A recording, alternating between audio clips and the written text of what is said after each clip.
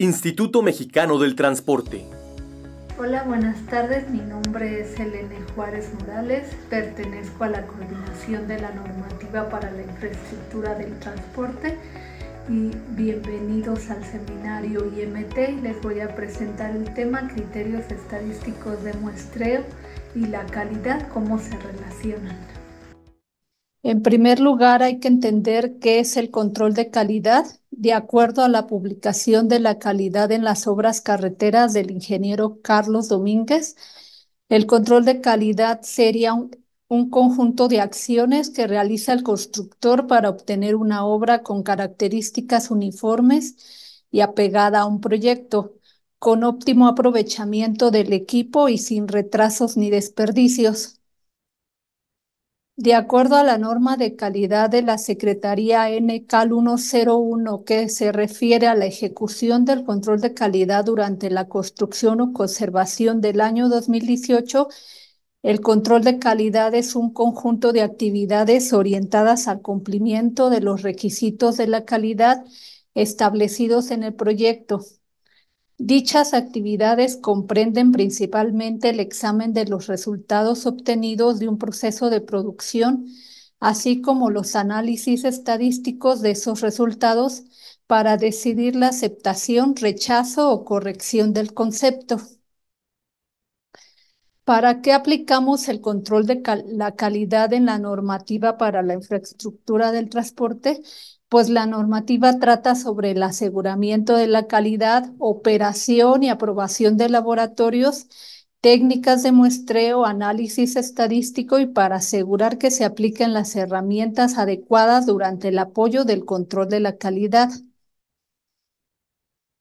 ¿Qué normas de la Secretaría tenemos referentes a calidad? Tenemos una referente a ejecución de obras que es la NLEC 3, que se refiere a ejecución de obras y tres referentes a control y aseguramiento de la calidad, que es la NCAL 101, que se refiere a ejecución del control de calidad durante la construcción o conservación, la NCAL 205001 que se refiere a la aprobación de laboratorios y la MCAL 102 que se refiere a criterios estadísticos de muestreo. ¿Y de qué trata cada una de estas normas? Bueno, la NLEC 3 establece la obligatoriedad del contratista de llevar a cabo un programa de control de calidad la NCAL 101 se refiere a control de calidad a todos los agentes involucrados en la calidad de la obra y a los requisitos del control de la calidad. La NCAL 205001 se refiere a los requisitos generales para la calificación y aprobación de laboratorios y la MCAL 102 que se refiere a criterios estadísticos de muestreo es objeto de este seminario y lo veremos más adelante de qué trata. El 6 de diciembre del año 2023, la Dirección General de Servicios Técnicos aprobó la actualización del manual MCAL 102 que originalmente se, que originalmente se había aprobado en el año 2001. Este manual ha sido actualizado incorporando una nueva tabla de números aleatorios que sustituye a las tablas del manual anterior. El procedimiento para la obtención de muestras de datos de variables discretas y continuas, un nuevo procedimiento para la obtención de un número aleatorio y se resuelven los mismos ejemplos de la norma anterior empleando los valores de la nueva tabla de números aleatorios. Y para esto, ¿qué son los criterios estadísticos de muestreo? Pues tenemos que son los procedimientos para seleccionar al azar las muestras o los elementos que serán sometidos a tanto mediciones, pruebas de campo y pruebas de laboratorio. ¿Con qué objetivo se hace este procedimiento? Pues con el objetivo de determinar las propiedades inherentes a un concepto de obra, de sus acabados, de los materiales y de los equipos de instalación permanente y además comprobar el cumplimiento de los requisitos de calidad especificados en el proyecto o establecidos en la Secretaría. La importancia de este procedimiento radica en que para que se indique la verdadera calidad de los materiales es necesario realizar un plan de muestreo estadístico con un procedimiento objetivo para la selección de la muestra basada principalmente en la tabla de números aleatorios que garantice que todos y cada uno de los elementos de la población por muestrear tengan la misma posibilidad de ser seleccionados. ¿Y qué son las tablas de números aleatorios?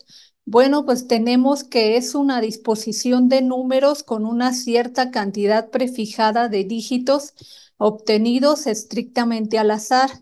Se utiliza para definir el lugar en donde se obtendrá la o las muestras de un lote de material o de un volumen de obra para lo que se puede introducir en una urna los 10 dígitos impresos en fichas numeradas del 0 al 9, se saca una al azar, se anota la cifra, se reintegra inmediatamente a la urna y se repite el procedimiento hasta completar el número de dígitos prefijado.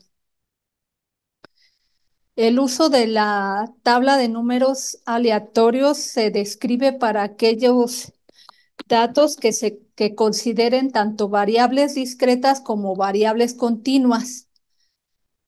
Las variables discretas se representan con números enteros y se definen como el número de muestras o el lugar donde se obtendrán.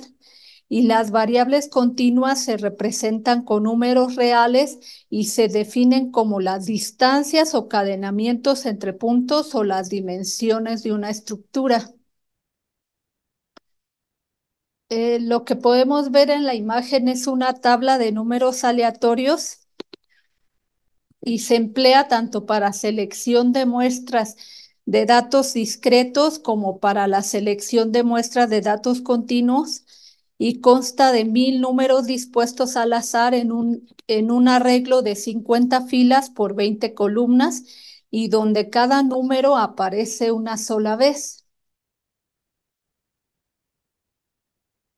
Si se desea obtener un número aleatorio de la tabla anterior, que será utilizado posteriormente para obtener una muestra, por ejemplo, para determinar el lugar, renglón y columna de donde se obtendrá el número aleatorio, se definirá por alguno de los siguientes métodos, que son mediante dispositivos electrónicos que es mediante el generador de números aleatorios que la mayoría de las calculadoras de bolsillo llevan incorporado, generalmente mediante la tecla random, que significa aleatorio, o mediante el empleo de un programa informático u hoja de cálculo que cuente con la función para generar un número aleatorio mayor o igual a cero y menor que 1, por lo general un número redondeado a cuatro decimales proporciona la precisión adecuada. Y el otro método es mediante la extracción con reemplazo de las, de las fichas de una urna. Por ejemplo, en una urna se introducen fichas numeradas del 0 al 9, se sacan cuatro fichas en eventos individuales con reemplazo, es decir, se saca una ficha al azar se anota su valor, se reintegra inmediatamente a la urna y se repite el procedimiento hasta, hasta completar las cuatro determinaciones para formar un número con cuatro decimales. Es decir, el primer valor obtenido corresponde a las décimas, el segundo a las centésimas, el tercero a las milésimas y el cuarto a las diez milésimas. La selección de muestras por ejemplo, de datos de variables discretas, aplica para la selección de muestras o de los elementos que las compongan que se obtengan de lotes o conjuntos de objetos individuales que sean similares entre sí. Y la selección de muestras de datos de variables continuas se aplica para la selección de muestras que se obtengan de superficies regulares de materiales que se transporten en bandas, áreas o volúmenes que se puedan definir por una, dos o tres dimensiones en un medio continuo. Ahora veremos algunos ejemplos, tanto para datos de variables continuas como discretas.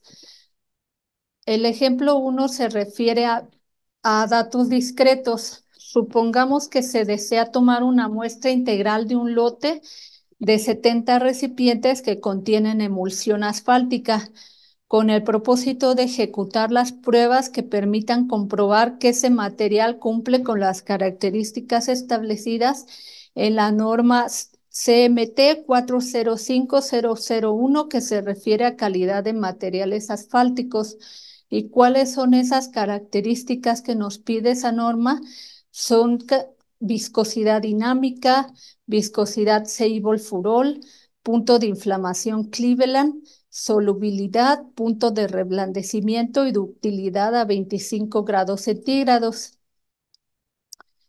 Entonces, el número de recipientes por muestrear para obtener la muestra integral conforme a lo señalado en la siguiente tabla, el número de depósitos que forman el lote queda en el rango de 66 a 125 y el número de depósitos que deben muestrearse son 5. El paso número 2 se enumera cada uno de los 70 recipientes de lote. Enseguida se determina el número, número del renglón y de la columna que servirán para obtener de la tabla de números aleatorios el valor de cada uno de los cinco números aleatorios a emplear. Supóngase que para este ejemplo se obtuvieron los siguientes números aleatorios. Posteriormente, cada uno de estos números aleatorios se multiplican por los 70 recipientes de que consta el lote para obtener el número de los recipientes de los que se tomarán las porciones para obtener la muestra.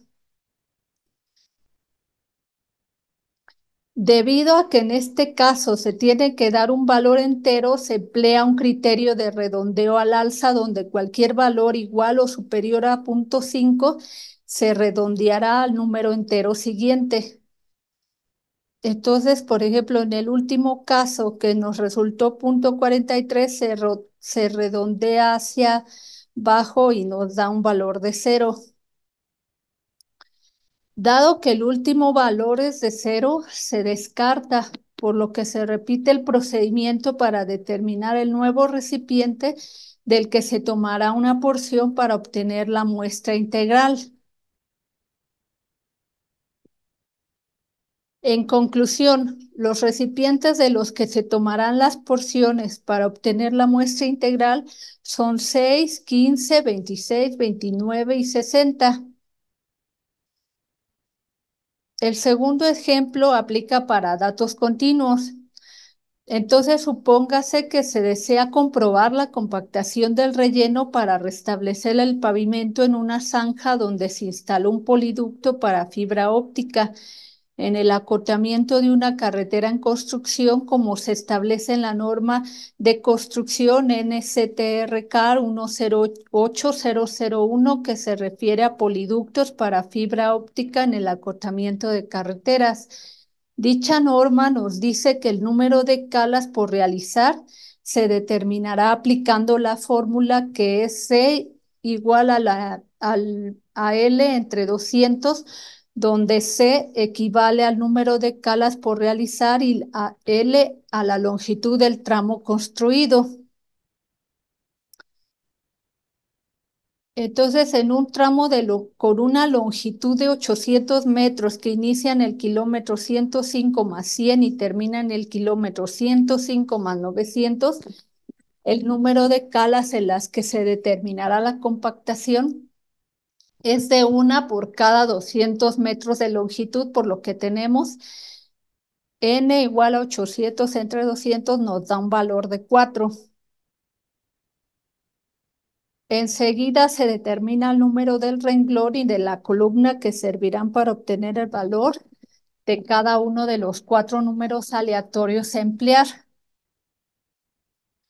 En el orden que se encontraron estos números se anotan en la columna A y posteriormente se calcula el cadenamiento de cada punto seleccionado. Debido a que el ancho de las zanjas de tan solo 15 centímetros no es necesario determinar las distancias transversales al eje de la zanja.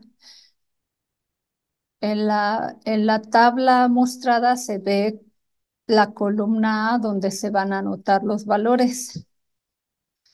Y entonces de esta manera los sitios seleccionados quedan en los cadenamientos 105 más 266.64, 105 más 269.20, 105 más 665.76 y 105 más 776 como lo que se muestra en la tabla.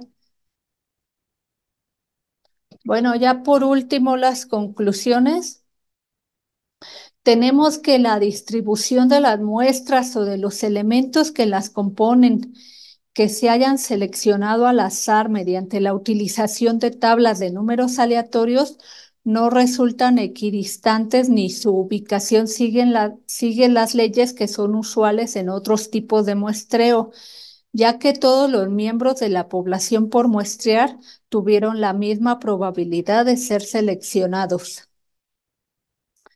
y además la selección al azar de las muestras o de sus elementos se hace una vez que esté disponible la población por muestrear e inmediatamente antes de proceder al muestreo, pues si la selección se realiza con anticipación antes de que la población esté disponible, se corre el riesgo de influenciar el proceso de producción que tenderá a lograr mejor calidad en los elementos que se hayan seleccionado. Y bueno, ¿qué ventajas obtenemos de, que se haga un buen muestreo aleatorio simple? Pues tenemos representatividad que garantiza que la muestra seleccionada sea una representación fiel y equitativa de la población total, lo que facilita inferencias precisas sobre la población en general. Y tenemos eficiencia que simplifica el proceso de recopilación de datos a proporcionar un método sistemático y aleatorio para seleccionar elementos de la población, optimizando recursos y tiempo. Tenemos una generalización que permite generalizar los resultados de la muestra a toda la población, brindando una base sólida para hacer afirmaciones y tomar decisiones informadas basadas en evidencia. Y tenemos por último, una reducción de sesgos, pues al eliminar sesgos y permitir que cada elemento tenga la misma probabilidad de ser seleccionado, el muestreo aleatorio simple mejora la validez y confiabilidad de los resultados. Una vez seleccionadas las muestras o sus elementos, se emplearán en las formas que establezcan las normas aplicables contenidas en los libros tanto de construcción, de conservación, de características de los materiales y de métodos de muestreo y pruebas de materiales. Bueno, eso es todo por mi parte. Eh, eh, allí están los datos de, de contacto para cualquier comentario. Muchas gracias. Instituto Mexicano del Transporte.